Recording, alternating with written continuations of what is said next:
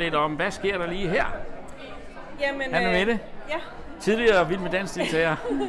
Jamen, jeg er blevet ved med at danse. Du er blevet ved med at danse. Så nu deltager jeg også i det her superdans, Ja. og det er for fjerde gang, Nå. faktisk. Og så er jeg jo så heldig, at vores ældste barnbarn, hun har danset siden hun var to år, og også blevet en superdanser. Wow. Ja, og vi har begge to været på gulvet i dag, og det synes jeg er rigtig dejligt, at øh, vi har den interesse sammen.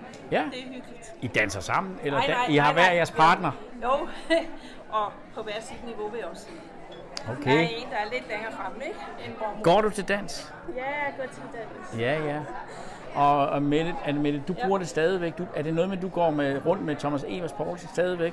Nej, det gør jeg ikke. Ikke længere? Jeg går til dans hos øh, Jesper, altså jeg danser med Jesper Dansgaard Ja, ja, ja. i ja. det der Take the Floor, som er Okay.